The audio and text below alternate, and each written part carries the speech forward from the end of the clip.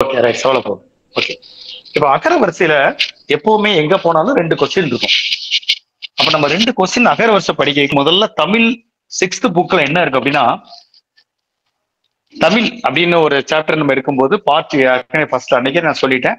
Part ஏல எத்தனை இருக்கு? பார்ட் பில எத்தனை இருக்கு? பார்ட் சில எப்படி இருக்குன்னு சொல்லிட்டேன். இருந்தாலும் திருப்பி ஏதாவது இன்னைக்கு ஜாயின் பண்ணி சொல்றேன். ஸோ தமிழ்ல நூத்துக்கு நூறு எடுக்கிறதுனா முதல்ல என்ன செய்யணும்? சிக்ஸ்த்ல புக்ல இருந்து டுவெல்த் புக் வரைக்கும் வீட்ல இருக்கணும் புக்கு மட்டும் ஸோ இருக்கணும். அந்த புக்கை வச்சு டெய்லி என்ன ஒரு மணி நேரம் ரெண்டு மணி நேரம் படிச்சுட்டே இருக்கணும். அதை டவுட் எல்லாம் நோட் பண்ணி வைங்க. நான் எப்போ கிளாஸ் வரணும் அதை என்ன டவுட் கேளுங்க. இந்த வார்த்தை எனக்கு புரியலை சார் இலக்கண பிரச்சனை கூட நான் நடத்திட்டே வருவேன். சப்போஸ் இது இந்த பகுதி எனக்கு ரொம்ப கஷ்டமா இருக்கு. இது எப்படி எளிமையா சொல்லி கொடுப்பேன்னு கேளுங்க. நான் அதையும் நான் எளிமையா என்ன செஞ்சிடறேன் சொல்லி கொடுத்துறேன். ஸோ எல்லாமே உங்க கையில இருக்கு. என்ன டவுட்னாலும் கேட்கலாம். ஓகே ரைட் இப்ப அகர வரிசையை முடிக்கும் முன் முந்தி அது போவதுக்கு முன்னாடி தமிழ் புக்ல என்ன இருக்குன்னா பழைய சிக்ஸ்த் புக்ல எழுத்துக்கள் எத்தனை? சோ எழுத்து அப்படின்னு ஒண்ணு இருக்கு. எழுத்து எத்தனையா பிரிக்கலாம் அப்படின்னா முதல் எழுத்து சார்பு எழுத்து அப்படின்னு பிரிக்கலாம். முதல் எழுத்து சார்பு எழுத்து அப்படின்னு பிரிக்கலாம். அப்ப எழுத்து முதல் எழுத்து சார்பு இந்த முதல் எழுத்து எப்படி பிரிக்கலாம் அப்படின்னா உயிரெழுத்து மெய் எழுத்து அப்படின்னு பிரிக்கலாம். இந்த சிக்ஸ்த் புக்கில் உள்ளது உயிரெழுத்து மெய் இந்த உயிரெழுத்தையும் ரெண்டா பிரிக்கலாம். குறில் நெடில் அப்படின்னு பிரிக்கலாம். அப்ப உயிரெழுத்து மொத்தம் எத்தனை? பன்னிரெண்டு. இது நம்மளுக்கு எல்லாருக்கும் தெரியும். அப்ப இந்த குறில் எழுத்து எத்தனை? அஞ்சு. நெடில் எழுத்து எத்தனை? ஏழு. மொத்தம் பன்னிரெண்டு எழுத்துக்கள் அப்படின்னு அர்த்தம். இந்த பேசிக்கு தெரிஞ்சாதான் டிஎன்பிசி கேட்ட கொஸ்டின் இப்ப நான் சொல்லுவேன் அது தெரியும். அப்போ முதல் எழுத்து உயிரெழுத்து மெய்யெழுத்து. உயிரெழுத்து பன்னிரெண்டு மெய்யெழுத்து எத்தனை? பதினெட்டு. அந்த மெய்யெழுத்து பதினெட்டையும் நம்ம என்ன பிரிப்போம்? இவ படிப்போம். வள்ளினம் மெல்லினம் இடையினம் அப்படின்னு பிரிப்போம். வள்ளினம் மெல்லினம் இடையினம் பிரிப்போம். அந்த வள்ளின எழுத்து எத்தனை? ஆறு மெல்லின ஆறு இடையின ஆறு மொத்தம் பதினெட்டு எழுத்து. இது நம்ம படிப்பு வைப்போம். இந்த மெய்ய மெய் எழுத்து பதினெட்டு. அப்போ எழுத்து வந்து முதல் எழுத்து சார்பு எழுத்து முதல் எழுத்து ரெண்டா பிரிக்கிறோம். உயிரெழுத்து பன்னிரெண்டும் மெய் எழுத்து பதினெட்டும். அந்த உயிரெழுத்துல குறில் அஞ்சு நெடில் ஏழு மெய்யெழுத்து பதினெட்டு வள்ளினம் மெல்லினம் இடையினம். அப்படின்னு ஒரு ஆறாயிடுச்சு நான் பிரிக்கலாம் மொத்தம் பதினெட்டு. இந்த சார்பு எழுத்து எத்தனை வகைப்படும்? பத்து வகைப்படும். இந்த சிக்ஸ்த் பழைய புக்ல என்னெல்லாம் இருக்கு சார்பு எழுத்து? உயிர்மையும் ஆயுதம். இந்த ரெண்டு மட்டும் பழைய புக்ல இருக்கு. உயிர்மை ஆயுதம் அப்படின்னு இந்த ரெண்டு சாப்டர் இதுல இருக்கு. சார்பெழுத்து எத்தனை வகைப்படுனா பத்து. உயிர்மை ஆயுதம் உயிரளபடை ஒற்றளபடை குற்றியலுகரம் குற்றியலிகரம் ஐகார குறுக்கம் அவுகார குறுக்கம் மகர குறுக்கம் ஆயுத குறுக்கம் அப்படின்னு சார்பெழுத்து பத்து வகைப்படும். இது பேசிக்கா நம்ம படிக்கிறது. எழுத்து முதலெழுத்து சார்பெழுத்து முதலெழுத்து உயிரெழுத்து பன்னிரெண்டு மெய்யெழுத்து பதினெட்டு உயிரெழுத்துல குறில் நெடில் மெய்யெழுத்து வள்ளினம் வெள்ளினம் இடையினம் சார்பெழுத்து பத்து வகைப்படும். அப்படின்னு நினைச்சிருக்கோம். ஸோ நம்ம படிச்சது. இது இது வந்து எழுத்த பத்து மட்டும் படிச்சது. இதுல தமிழ்ல மொத்த எழுத்துக்கள் என்ன? அடுத்த இதுதான் டிஎன்பிஎஸ் கொஸ்டின் தமிழ்ல உள்ள மொத்த எழுத்துக்கள் எத்தனை? அப்படின்னா உயிரெழுத்து பன்னிரெண்டு மெய்யெழுத்து பதினெட்டு உயிர்மை எழுத்து இருநூத்தி பதினாறு ஆயுத எழுத்து ஒண்ணு. மொத்தம் இருநூத்தி நாற்பத்தி ஏழு எழுத்துக்கள். அப்போ தமிழ்ல மொத்தம் எத்தனை எழுத்துன்னு கேட்டா இருநூத்தி நாற்பத்தி ஏழு எழுத்து சோ உயிரெழுத்து பன்னிரெண்டு மெய்யெழுத்து பதினெட்டு உயிர்மை எழுத்து இருநூத்தி பதினாறு ஆயுத எழுத்து ஒண்ணு. இது கொஸ்டின் இப்ப டிஎன்பிசி கொஸ்டின் என்ன அப்படின்னா இது கரெக்டா சொல்லுங்க பாப்போம் உயிர் மெய் குறியில் எத்தனை? டிஎன்பிசி கொஸ்டின் உயிர் மெய் நெடில் எத்தனை? உயிர்மை குறியில் எத்தனை? ஆப்ஷன் போடுறேன் தொண்ணூறு முப்பது தொண்ணூறு நூத்தி இருபத்தாறு பன்னெண்டு. அதே தான் தொண்ணூறு முப்பது நூத்தி இருபத்தாறு நூத்தி பதினாறு. இது டிஎன்பிஎஸ் கொஸ்டின் பாருங்க. உயிர்மை எத்தனை உயிர்மை எத்தனை யாராவது தெரிஞ்சவங்க சொல்ல பார்ப்போம் மொத்த எழுத்து இருநூத்தி நாற்பத்தி ஏழு எழுத்துல உயிர்மை குறியெழுத்து இந்த நாலு ஆப்ஷன் போட்டிருக்கேன். உயிர்மை நெடில் எழுத்து நாலு ஆப்ஷன் போட்டிருக்கேன். என்ன வரும்? உயிர்மை குறியெழுத்து எழுத்து. உயிர்மை குறி நூறு சார். நெடில் நூத்தி இருபத்தாறு. தொண்ணூறு. உயிர் நூத்தி இருபத்தாறு. யாருக்காவது இது எப்படின்னு யாருக்காவது தெரியாம இருக்கா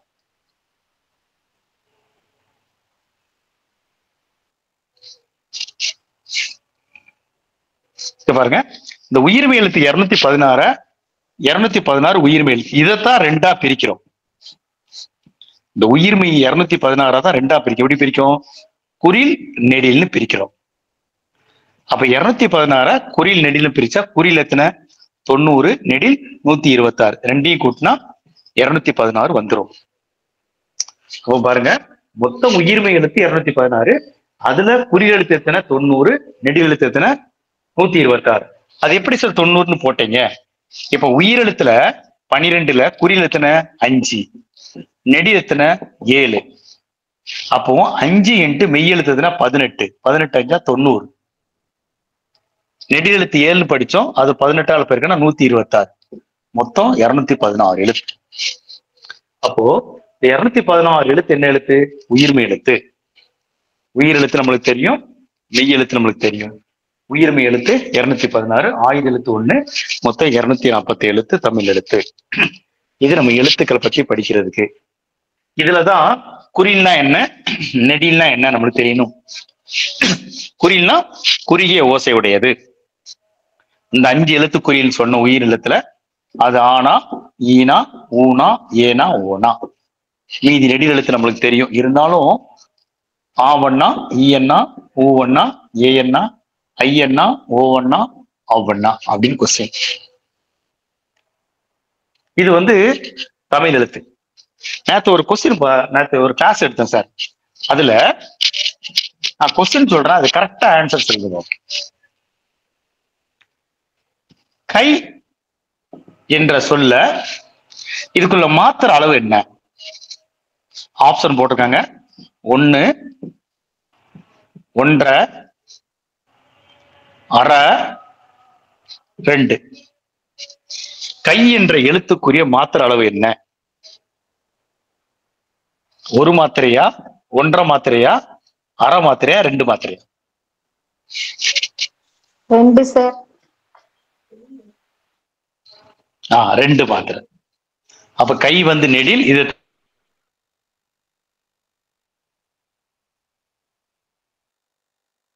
படிக்கும்போது அதுல படிப்போம் இருந்தாலும் ஒரே ஒரு சொல்றேன் இது நெடில் நெடில் இருக்கிற மாத்திரை ரெண்டு மாத்திரை. இது இது நான் வச்சுக்கணும் இது அவன் கேட்ட நேரத்தை நடத்துனது. ஸோ அதுல அத்தனை பேர் என்ன செய்யணும்? ஒன்றரை மாத்திரை அரை மாத்திரை ஒரு மாத்திரை குறுகி ஒலிக்கும் அப்படின்னு போட்டாங்க. அது கிடையாது. ஸோ இது எழுத்துக்கள் பத்து படிக்கிறது மெய்யெழுத்து மொத்தம் பதினெட்டு. சோ உயிரெழுத்து எல்லாருக்கும் நம்மளுக்கு வரிசையா தெரிஞ்சிரும். மெய்யெழுத்து பதினெட்டை படிக்கிறதுக்கு நம்ம என்ன சொன்னோம்? வள்ளினம் மெல்லினம் இடையினம் அப்படின்னு இப்படி பிரிச்சு வச்சுக்கணும். டிஎன்பிசியில அகர வருஷப்படி கேட்டாங்கனாலே இந்த அந்த ஜெராக்ஸ் அந்த புக்லெட்டுக்கு பின்னாடி இது எழுதணும். மெய்யெழுத்து பதினெட்டு வள்ளினம் மெல்லினம். வள்ளினத்து எதெல்லாம்? கசட ரபர. சரியா? மெல்லின எழுத்து நெங்கன நம்மன எடையின் எழுத்து எரள வளல அப்படின்னு எழுதி வச்சுக்கணும்.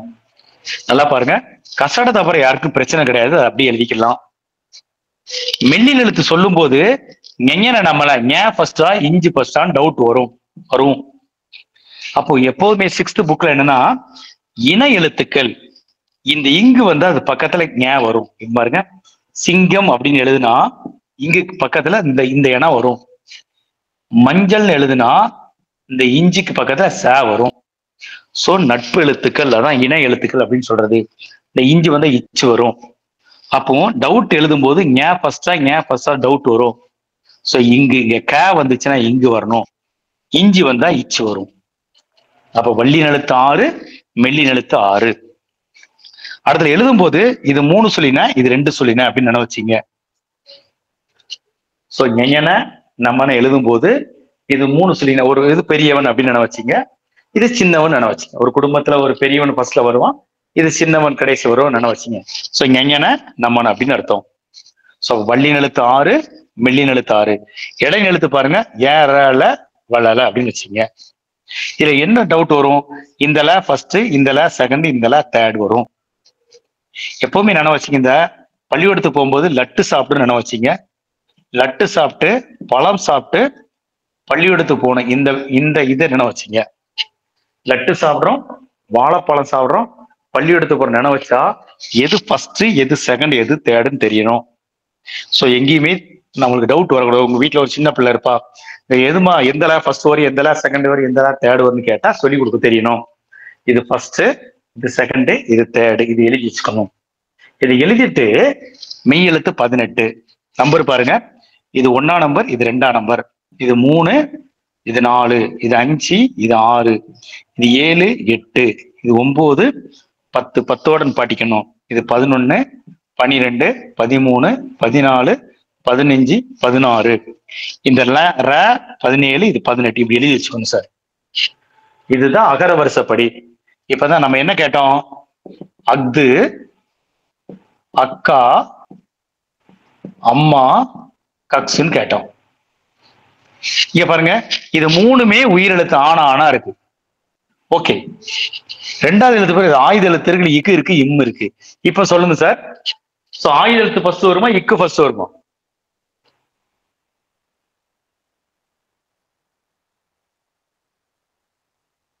ஆயுத எழுத்து. ஆ இப்ப பாருங்க ஆயுத எழுத்து ஃபர்ஸ்ட் வரும். ஆயுத எழுத்து தான் சார் ஃபர்ஸ்ட் வரும். அதனால பதிமூணாவது இது ஃபர்ஸ்ட் அப்புறம் என்ன வரும்? இக்கு இருக்கு. இது இக்கு செகண்டு இம்மு தேர்டு கடையை அடுத்துலதான் கக்ஸ் வரும். உயிரெழுத்துல படிக்கும்போது எப்படி அகரவரிசை கண்டுபிடிக்கிறது? முதல்ல எழுத்து உயிரெழுத்து இருக்கான்னு பார்க்கணும். உயிரெழுத்து எல்லாமே உயிரெழுத்து இருந்துச்சுன்னா ஃபர்ஸ்ட் உயிரெழுத்தை தான் எடுக்கணும். So, எல்லாமே உயிரெழுத்து ஒண்ணு போல இருக்குன்னா ரெண்டாவது எழுத்தை பார்க்கணும். ரெண்டாவது எழுத்து உயிரெழுத்து ஒண்ணு போ ரெண்டாவது எழுத்தும் உயிரெழுத்து இருக்காது உயிர்மை எழுத்தா இருக்கும். ரெண்டாவது எழுத்து மெய் எழுத்து தான் ரெண்டாவது எழுத்து ஒண்ணு போல இருக்குன்னு அதையும் பார்க்கணும். அப்புறம் மூணாவது எழுத்துக்கு சரியா? சோ எந்த எழுத்தாலாம் இப்போ ஒரு கேள்வி நான் இப்படி போடுறேன் பாருங்களேன். அன்னம் அன்பு அன்னை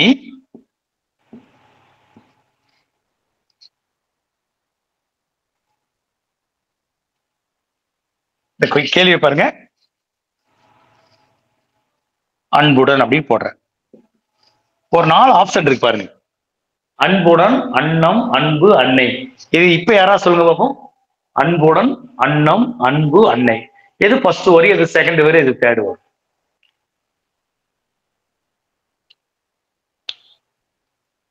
அன்புடன் அன்னம் அன்பு அன்னை. அன்பு அன்புடன் அன்னம் அன்னை. அன்பு ம் அவ்வளவுதான் அன்பு ஃபர்ஸ்ட் அன்புடன் செகண்ட் அன்னைய அன்னமா அன்னம். மூணு. அன்னை. அவ்வளவுதான் சார் ஸோ இந்த எப்போதுமே அகரவசம் நம்மளுக்கு தெரியும் அப்படின்னு போட்டக்கூடாது. இதெல்லாம் கரெக்டா இருக்குன்னு செக் பண்ணிட்டு என்ன செய்யணும்? இதை போடணும். இது அகரவரிசை படிக்கிறதுக்கு நம்மளுக்கு முக்கியமான வார்த்தை. இதுதான் உயிர் உயிரெழுத்து குறியெழுத்து நெடிலெழுத்து அப்படின்னு கேட்டா நமக்கு என்னதுனோ தெரியணும். அப்ப இணை எழுத்து அப்படின்னு கேட்டாலும் என்னது இதுக்கு இது ஏனா அப்படின்னு நம்மளுக்கு நினைச்சணும் அதுவும் தெரியணும். அப்ப இக்குக்கு நல்லா பாருங்க. இங்குக்கு இக்கு இனம் இஞ்சிக்கு இஞ்சி இனம் இன்னுக்கு இட்டு இனம் இந்துக்கு இந்து இப்புக்கு இம்மு இன்னுக்கு இரு. சோ இங்க இருந்தா இணை எழுத்து இங்க வரும். அதான் நட்பு எழுத்துக்கள் அப்படின்னு நினைச்சிருது. நண்பர்கள் பெரும்பாலும் இவை சேர்ந்தே வரும். இப்போ ஒரு கேள்வி பாருங்களேன். பண்டம் அப்படின்னு சொன்னா இந்த இன் வந்தா பக்கத்துல என்ன வரும்? ட வரும். பந்தல் சொல்லி பாருங்க. இந்து வந்தா பக்கத்துல என்ன வரும்? தே வரும். தென்றல் அப்படின்னு எழுதி பாருங்க. தென்றல் அப்படின்னா இந்த இன்னு வந்தா இந்த ரே வரும். சோ இதோ இது இது பிழை இல்லாம எழுதுவது எப்படிங்கிறதுக்கு இதை தெரிஞ்சுக்கணும். இதுதான் நட்பு எழுத்துக்களை என்ன அப்படின்னு கேட்டதுக்கு நம்மளுக்கு நினைச்சணும் அது கேட்டா இதெல்லாம் படிச்சா மட்டும் பிழை இல்லாம எழுதிக்கலாம் சார். இதுதான் சார் உயிரெழுத்து மெய் எழுத்து. உயிர் மெய் எழுத்துன்னு கேட்டா இவ்வளவு செய்தி நம்மளுக்கு தெரிஞ்சா எந்த பிழை இல்லாம நம்ம நினைச்சுக்கலாம் எழுதிக்கலாம். இதான் வருஷ படிக்கிறதுக்கு ஒரு பேசிக்கான வார்த்தை தான். இது தெரிஞ்சாதான் இந்த அகர வரிசையில் என்ன வராது? பிழை வராது. இது குறின என்ன? காரணம் இல்லாமல் வழங்குவது மரம் அப்படின்னு போடுறோம். காரணம் என்னது? காரணத்தோட வழங்குவது காரண பெயர். சோ இடுகுறி பெயர் இது காரண பெயர். சோ ரெண்டுக்கு வித்தியாசம் பாத்துங்க இடுகுறின்னா என்ன? காரணம்னா என்ன? ரெண்டுக்குள்ள வித்தியாசம் பாருங்க. இடுகுறி பெயர் காரண பெயர். இதுல இதுல ரெண்டு வகை இதுல ரெண்டு இதை மட்டும் நல்லா படிச்சுக்கணும் சார். இடுகுறி பொது பெயர். இடுகுறி சிறப்பு பெயர். காரண பொது பெயர். காரண சிறப்பு பெயர். இது ஏ இது பி இது சி டி. இது ஆப்ஷன் சோ இடுகுறி பொது பெயர் இடுகுறி சிறப்பு பெயர். காரண பொது பெயர் காரண சிறப்பு பெயர். அப்ப இடுகுறி பொது பெயர்னா என்ன? ஒரு ஒரு இடுகுறி பெயர் அந்த தன்மையுடைய எல்லா பொருள்களையும் குறிப்பது இடுகுறி பொது பெயர். அது என்ன இந்த மரம் போட்டிருக்கோமா? அதே மரத்தை தூக்கி இதுல போடுறேன். அப்ப மரம் என்பது இடுகுறி பெயர் தான். அது இடுகுறி பொது பெயரா சிறப்பு பெயர்னு கேட்டா இடுகுறி பொது பெயர். இதுல இடுகுறி சிறப்பு பெயர் என்ன போடுறோம்? தென்னை மரம் அப்படின்னு போடுறேன். அல்லது மாமரம் அப்படின்னு போடுறேன் நல்லா பாருங்க. ஆ தென்னை மரம் மாமரம் அப்படின்னு போடுறேன் இது இப்ப தென்னை மரம் மாமரம் இடுகுறி பொது பெயரா சிறப்பு பெயரா அப்படின்னு கேட்டா என்ன போடுவீங்க? இடுகுறி சிறப்பு பெயர்னா என்ன? ஒரு ஆ, ஆ, ஒரு இடுகுறி பெயர் குறிப்பாக ஒரு பொருளை மட்டும் ஒரே ஒரு பொருளை மட்டும் குறிப்பது இடுகுறி சிறப்பு பெயர். இது பொதுவா எல்லா வகையான மரத்தையும் குறிப்பது இடுகுறி பொது பெயர். தென்னை மரத்தை மட்டும் குறிக்கிறது மாமரத்தை மட்டும் குறிக்கிறது இடுகுறி சிறப்பு பெயர். அப்போ இடுகுறி பெயர்னா என்னன்னு தெரியணும்? இடுகுறி பொது பெயர்னா என்ன? இடுகுறி சிறப்பு பெயர்னா என்ன? ரெண்டுக்கு வித்தியாசம் யாருக்கா டவுட் இருக்கா? இடுகுறி பொது பெயர் வேற இடுகுறி சிறப்பு பெயர் வேற. இதுல யாருக்கா டவுட் இருக்கா? எஸ் ஆர் நோ அவ்வளவுதான். வேற ஒண்ணுமே இல்லை அதே மாதிரி பாருங்க. ஆ காரண பெயர் பாருங்க. காரண பொது பெயர் காரண சிறப்பு பெயர். அப்ப காரண பொது பெயர் என்ன? நம்ம என்ன போட்டோம்? பறவை அப்படின்னு போட்டோம். ஏன் பறவை? பறக்கிறதுனால பறவை அது காரண பொது பெயர் இப்ப காரண சிறப்பு பெயர் அப்படின்னு போட்டா நம்ம என்ன போடுவோம்? காரண சிறப்பு. ஏதோ ஒரு பறவை போடுறோம். இப்போ மயில் அப்படின்னு போடுறோம். அப்ப பறவை என்பது எல்லாத்துக்கும் பொதுவான பெயர். ஆ சரி. ம- மயில் என்பது காரண பொது பெயர் அப்படின்னு போடுறோம். அப்போ கொஸ்டினை பாருங்க எப்படினாலும் இருக்கும். சோ இடுகுறி பொது பெயர் இடுகுறி சிறப்பு பெயர் காரண பொது பெயர் காரண சிறப்பு பெயர். இப்ப நான் போர்டில் எழுதி போடுறேன். என்ன பெயர்னு சொல்லுங்க பாப்போம் காடு அணி மரங்கொத்தி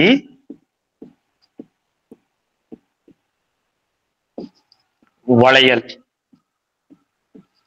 இந்த நாள் என்ன பெயர் சார் காடு அணி மரங்கொத்தி வளையல். காடு வந்து பொது பெயர். இதுதான் சொல்லணும். காடு பொது நான் அப்படி சொல்லக்கூடாது. எப்படி சொல்லணும்? காடு இடுகுறி பொது பெயர். காடு இடுகுறி பொது பெயர். அப்படி சொல்லணும். இடுகுறி பொது சூப்பர். இடுகுறி பொது பெயர். வெரி குட் அணி? இடுகுறி இடுகுறி காரண பெயர். இடுகுறி காரண பொது பெயர். காரண பொது பெயர் இல்ல முதல்ல டவுட் எல்லாரும் டவுட் ஆயிடுச்சு. அணி என்பது காரணமா இவரியா? அணி காரணம். காரண பொது பெயர் காரண பொது பெயர் ஆ, காரண அதான் கரெக்ட் காரண பொது பெயர் இதான் சரி. வெரி குட் மரங்கொத்தி? காரண சிறப்பு. பெயர். காரண சிறப்பு பெயர். சூப்பர் சூப்பர் காரண சிறப்பு பெயர்.